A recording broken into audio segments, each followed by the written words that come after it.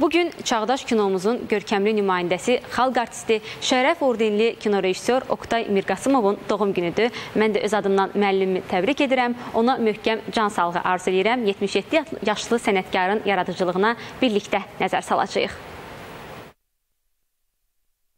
Filmləri müxtəlif festivallarda mükafatlar qazansa da, o heç bir zaman ömrünü həsr etdiyi bu sənət haqqında kino mənim həyatımdır deməyib. Onun yaradıcılıq mənzərəsini bu pafoslu fikir yox, ərsəyə gətirdiyi və tarixə yazılan filmləri əks etdirir. Kino onun üçün həyatın ziddiyyətləri haqqında düşünmək, gerçəklərini anlatmaq və hisslərini ifadə etmək üçün bir vasitədir. Söhbət tanınmış kino rejissor xalq artisti Oktay Mirqasımovdan gedir. Təkcə Günaydın Mələyin filmi kifayət edir ki, Oktay Mirqasımov yaradıcılığının qayəsini, vətən sevgisinin böyüklüyünü anlaya biləsən.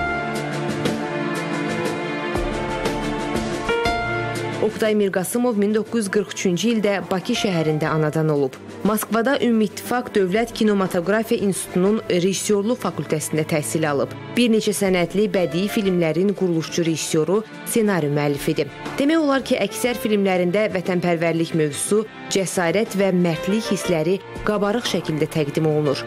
Oktay Mirqasımov həm də vətənə, onun tarixinə, adət-ənənələrinə böyük məhəbbətlə yanaşır, istedadlı insanları öz əsərlərində əbədiləşdirib. Kino çəkilişində son məqsəd kimin üçünsə mükafat, orden, pul və s. ola bilər. Ancaq mənim üçün məqsəd prosesdir, daxildəki ideyanı reallaşdırmaqdır.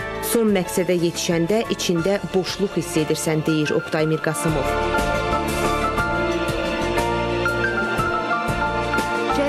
Ordenli kino rejissorun düşüncə və ideyaları lentə aldığı filmlərdən qat-qat geniş və şaxəlidir. Buna görə də müsahibələrindən birində etiraf edir ki, qəlbimdə, beynimdə elə filmlər var ki, reallaşdıra bilməmişəm. Həyatın və insan ömrünün sonsuzluğunu göstərmək istəyən rejissor üçün fikir və ideyanı məhdud bir zaman çərçivəsinə, ssenariyə sığdırmaq necə mümkün olsun ki?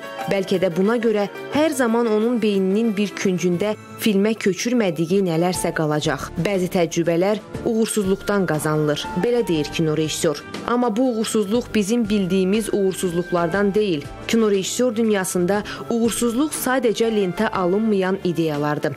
O elə uğursuzluqdur ki, izləyici həmişə ondan xəbərsiz olacaq. Bu bir növ Oktay Mirqasımovun sadəlik və səmimiyyətindən doğan və onu yeni işlərə sövq edən fikirləridir.